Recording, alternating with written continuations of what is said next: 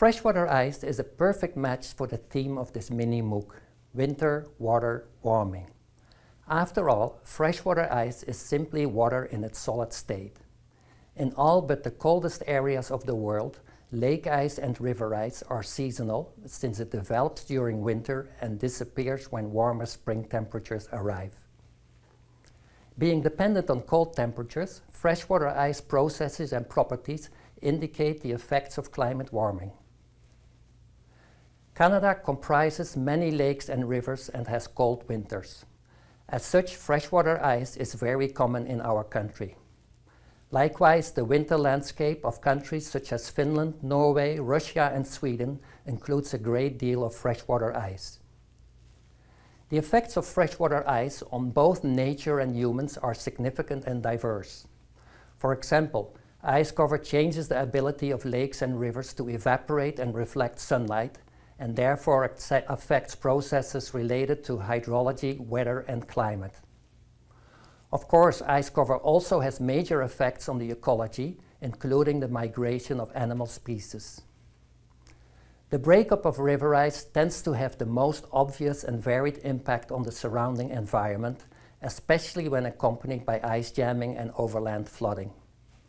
Ice jam flood events can stain wetland ecosystems but also cause severe damage to populated areas and compromise riverine transportation. Similarly, ice cover complicates the operations of industries that make use of surface water and the measurement of water levels and stream flow. Yet, ice cover also provides an effective and economical base for seasonal roads and bridges that facilitate valuable land transport to isolated fly-in communities and industries. Likewise, it makes a good foundation for temporary runways. But as is the case with more permanent forms of infrastructure, accidents do occur. The opportunities ice cover creates for recreational activities also demonstrate its benefits to society and expose the creativity and bravery of some of our fellow human beings. This lesson centers around three case studies that demonstrate the utility of radar remote sensing in support of lake ice breakup monitoring, river ice breakup monitoring, and ice road trafficability mapping.